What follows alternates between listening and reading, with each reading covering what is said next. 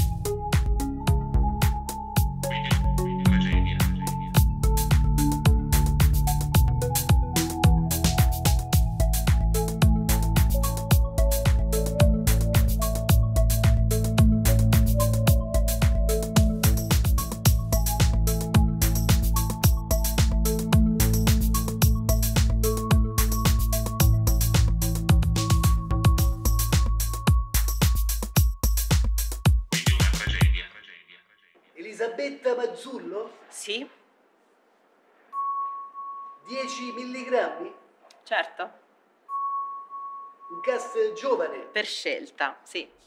Siamo in un locale, c'è una festa. Ci sono un sacco di persone vestite elegantemente. Da, da, ballano, bevono, ridono e parlano fra di loro. Dai,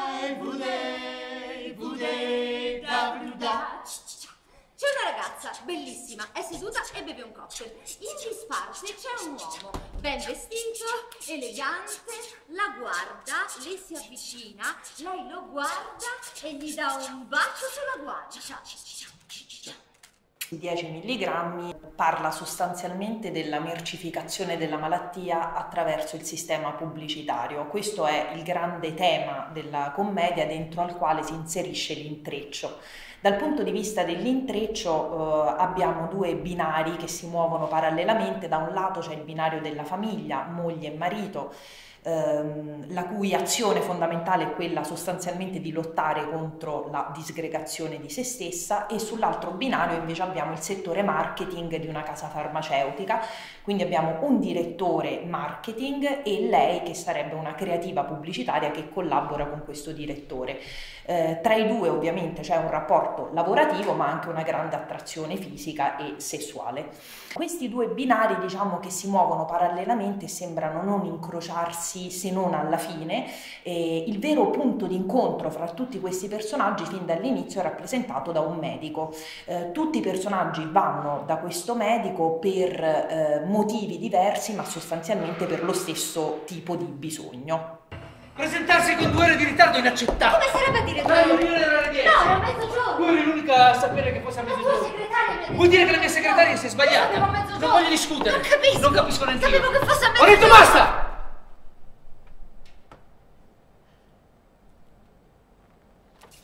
Non mi direi che stai per piangere. Io ti ho aspettato. Cosa dici? Mi avevi detto che saremmo andati al lago insieme e io ti ho aspettato. Mi dispiace. eh. Insomma, l'ho detto così. Sì, ecco, non credevo che tu mi aspettassi sul serio. Ho sbagliato, non avrei dovuto dirtelo. Non avrei dovuto neanche fare sesso con te. Noi due abbiamo sbagliato. Dai, te ne rendi conto pure tu, vero? Io credo di essermi innamorata di te, credo che sia così. E questo è un problema perché tu te ne stai in silenzio e non mi dici niente. Cosa dovrei dire? Ti è piaciuto stare con me? Mi è piaciuto, sì. E allora perché? Ma perché cosa? Perché? Perché mi allontani? Non lo so, io sono fatto così, non ci posso fare niente. Ci rivedremo. Credo che venderò la casa sul lago. La darò via, sì. Non ci serve a niente, non ce ne facciamo niente. Non credono più. Che ore saranno? Perché fai così? Sarà ora di cena. Zitto, ti prego, stai zitto. Cosa c'è? Cosa ho detto? Non posso più neanche parlare? Voglio guardare la TV. Sembra che mi odi. Non ti odio. Ogni cosa che dico che faccio sembra che non, Non vada è bene. vero. Non posso più nemmeno parlare. Mi dà fastidio. Cosa ti dà fastidio? Mi dai fastidio tu. Smettila di parlarmi così. Lasciami in pace. Sei cattiva. Se solo non mi ricordassi di lui tutti i Se giorni. solo tu mi avessi dato retta! Vaffanculo. Vaffanculo tu!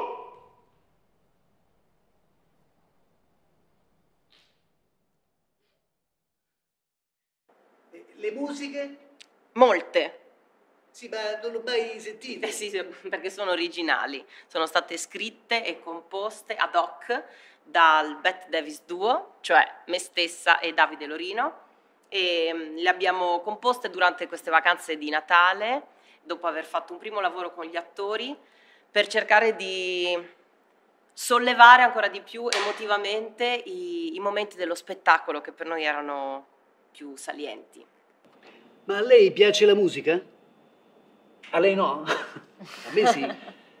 Non- eh, come dire, ti piace la pizza? No. Eh, no, io sono, sì, sì, so- la musica tantissimo e soprattutto la chitarra. Ho una passione per la chitarra abbiamo anche composto le musiche di questo spettacolo, ispirate come sempre un po' ai, ai miei anni Ottanta, perché è da lì che mi viene da attingere quando devo creare qualcosa, anche ispirazioni a personaggi per, eh, sulla per la recitazione, per il teatro. E a lei invece le piace cantare? Sì, molto. Non ne ho mai avuto la possibilità così grande come in questo spettacolo, forse, dove appunto grazie alla regista che mi ha dato molta fiducia. ehm, canto spesso, ecco, insomma, anche un pezzo accompagnata eh, dalla chitarra e anche dal, dal medico che fa una seconda voce. Un pezzo degli anni Ottanta. Un pezzo, un pezzo degli anni 80, un pezzo cult proprio degli anni 80 che è Take On Me. ehm, però sì, mi piace molto cantare, non è qualcosa che pensavo di poter fare e ancora oggi non lo so perché ancora non abbiamo debuttato e non ho avuto nessun tipo di... cioè, non lo so, però mi piace molto sì,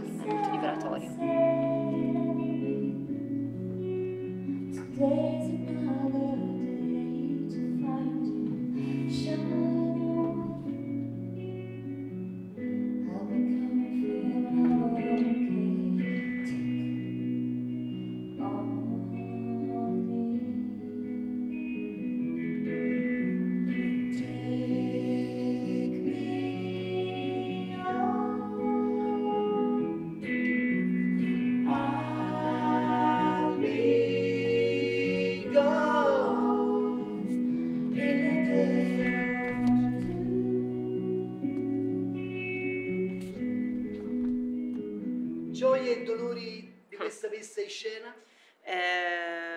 più gioie che dolori.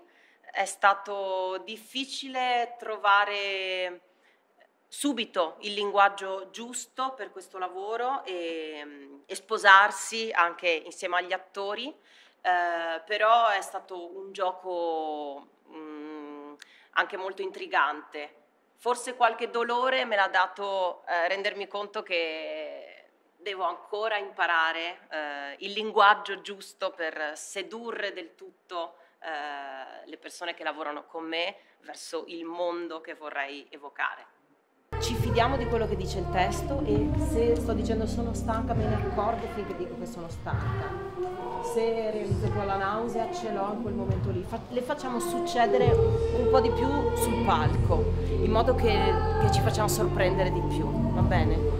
E, mm, non dimenticatevi di, di dare energia vocale perché come al solito insomma eh, stamattina eravamo soft e non c'era niente di è stato tecnico però non, non dimentichiamoci di spingere un po' e mm, di essere rassicuranti nella nostra professione di medico per cui ho perfettamente la situazione sotto controllo e, e ricordati che porti un'energia l'energia del gioco non perderla per, per niente al mondo anche se sei il commissario di questo giallo ok? Ehm, ok abbiamo un piccolo pubblico. E- Ah, sì quindi raccontiamola a loro. E, e sappiamo che ci serve anche per scaldarci, per cui qualsiasi errore, come ci diceva Davide, non deprimiamoci, usiamo la battuta dopo per giocare un po' di più.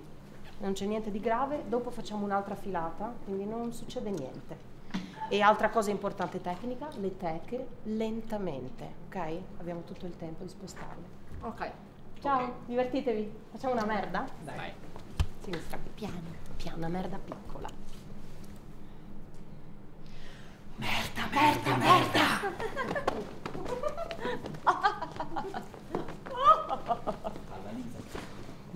Ciao.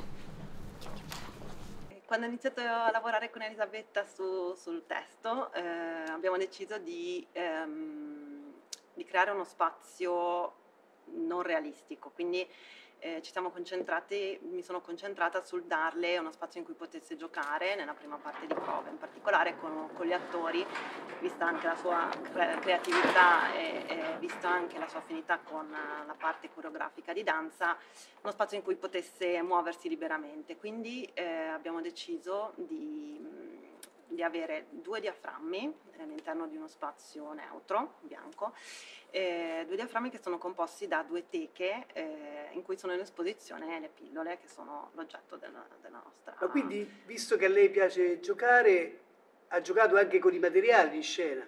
Sì, abbiamo giocato, ci siamo divertiti anche in quello, abbiamo giocato con eh, il ferro, il plexiglass e il PVC. Anche tra l'altro è anche molto attuale come argomento. Eh sì, il plexiglass eh, Certo. è abbastanza attuale in questo momento. Col plexiglass eh, abbiamo creato anche degli effetti di sospensione degli attori, quindi ogni tanto galleggiano i nostri attori all'interno della scena.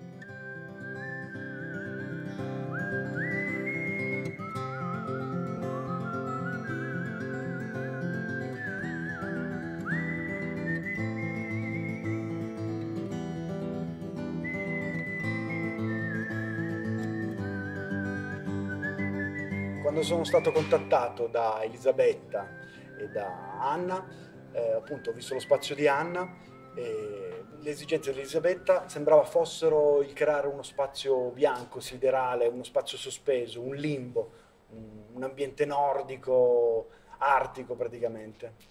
E poi che cosa è cambiato? E poi vedendo le prove, iniziando a vedere cosa stava facendo Elisabetta, eh, il taglio che stava prendendo lo spettacolo, ho sentito l'esigenza eh, di mettere tanto colore. Questa cosa si è anche palesata nella testa di Elisabetta, che me l'ha chiesta poi ad un certo punto e anzi mi ha spinto ancora più avanti di quanto magari inizialmente io non volessi andare. Siamo andati creando situazioni lisergiche, li- situazioni gradienti di colori. Ma lei Eh, fa uso di sostanze stupefacenti? Beh, no, però nel senso l'idea, il, il viaggio è stato quello. Eh, parlando di farmaci, parlando di abuso di farmaci, l'idea era appunto creare un mondo sintetico.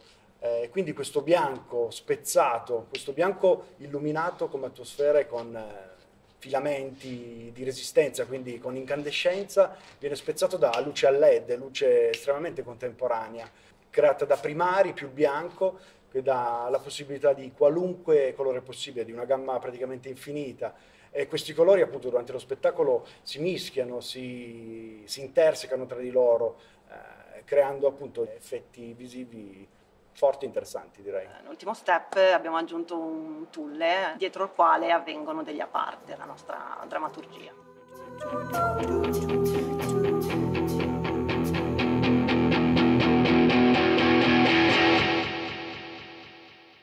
Prego. Su quale parte del suo corpo ha lavorato per costruire questo personaggio?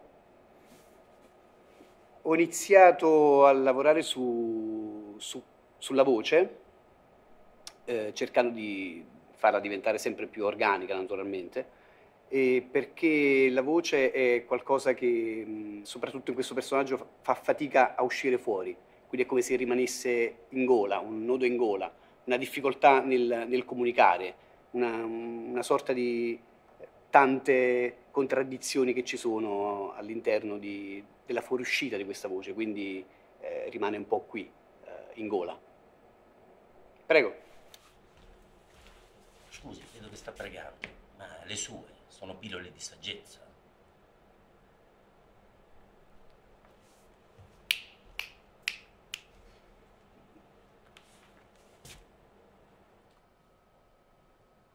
Ho qualche malattia? Come scusi? Sono malata? Ha mai sentito parlare di sindrome d'affaticamento cronico? No. È una sindrome che colpisce soprattutto le donne, ma non deve preoccuparsi, con una buona cura potrà migliorare nell'arco di poco tempo. Solforin, compresse da 10 mg. Sì, certo. Bene, allora mi telefoni così mi dice come si sente. Va bene, dottore. Grazie. E che affinità ci sono tra le pillole e i costumi degli attori? Allora, i costumi degli attori sono. mm, abbiamo ripreso i colori delle, delle pillole, quindi diciamo i nostri personaggi fanno parte di questo mondo e quindi sono- diventano pillole anch'essi. Quindi abbiamo giocato su delle tonalità eh, per, ogni, per ogni personaggio. Questo periodo soffre di palpitazioni? Sì. Attacchi di ansia? Un pochino. Ansia da prestazione? Sì. Solforin, compresse da 10 mg.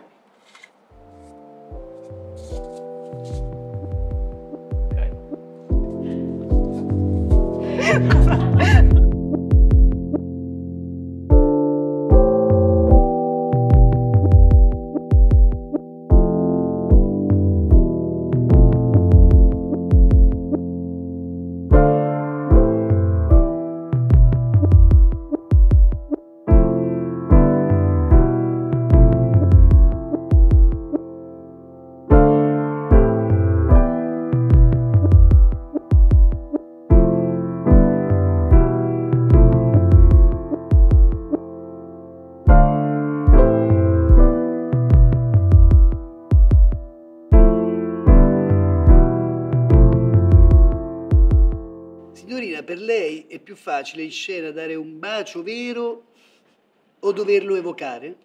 Assolutamente mh, più facile dare un bacio vero, doverlo evocare è molto più complesso perché innanzitutto non c'è un codice a prescindere, quindi lo devi trovare tu, eh, devi trovare qualcosa che sia comprensibile eh, ma che sia allo stesso tempo, come nel nostro caso, mh, poetico, ehm, che sia anche divertente da fare e, e che venga recepito nel modo giusto dal pubblico. Ovviamente un bacio è un bacio per tutti, no? Eh, invece se io faccio qualcos'altro non è detto che il pubblico lo recepisca nello stesso modo, ma è anche la, la- la cosa bella dell'evocare eh, un qualcosa. È sicuramente più restrittivo dare un semplice bacio, invece apre a, a- a molte più interpretazioni un gesto evocativo.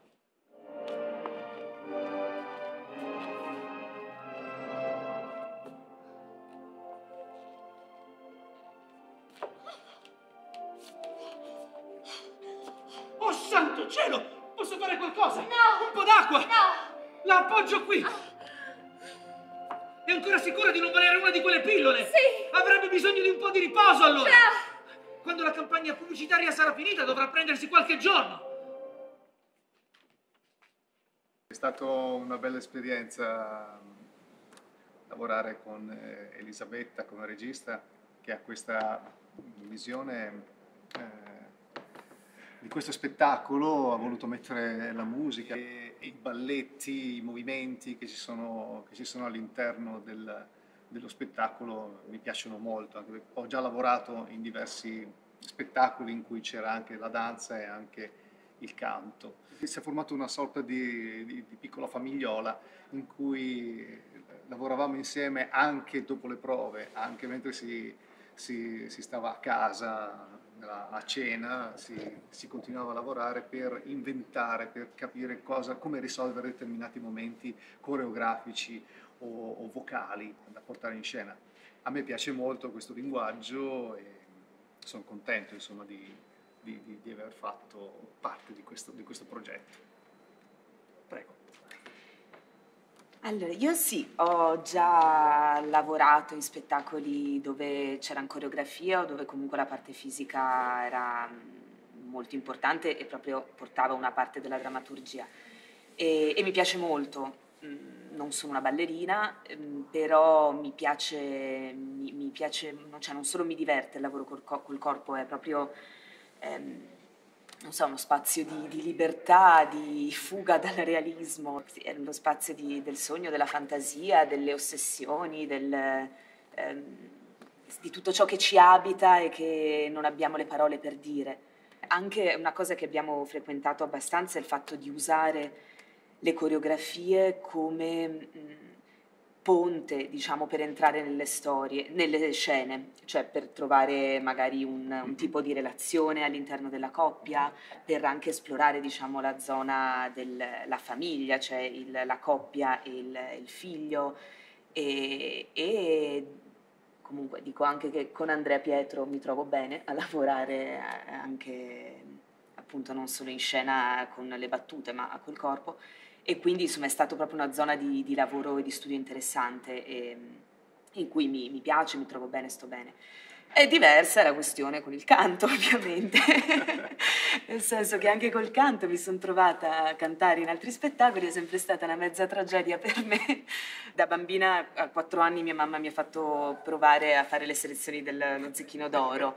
Eh, sembrava che avessi una bella voce, in realtà allo Zecchino d'Oro ho fatto scena muta perché non mi veniva fuori la voce e si vede, non lo so, ci avrò uno shock, sa, di fatto per me il canto è molto, è una cosa che mi fa eh, difficoltà, è un, po' paura, un po' fatica, un po' non mi sento molto in grado, però mh, come dire, l'affronto, ci provo, ecco, continuo a provarci. Insomma, ci sono sempre i genitori di mezzo, insomma, nel- Eh sì, questi per. Eh, fortuna sì, sì.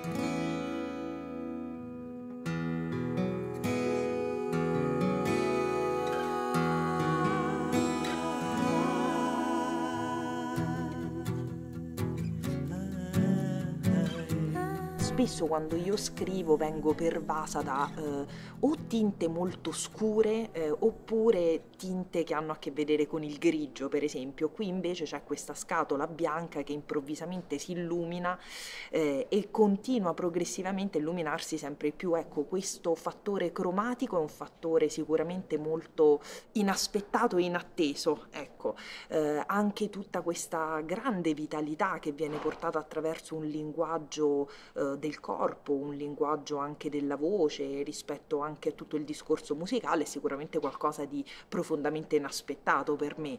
È chiaro che io scrivendo le pubblicità avevo, imma- avevo immaginato che quello potesse essere uno spazio aperto per il regista, no? Eh, perché è giusto che sia così, però mh, non, non- non pensavo che Elisabetta potesse affrontare le pubblicità in questo modo, no? Ed è bello perché in effetti c'è una grande vitalità e- ed è importante perché questa grande vitalità eh, fa da contraltare, fa da bilancia a quel dolore di cui invece sono portatori questi personaggi rispetto al grande dramma che vivono.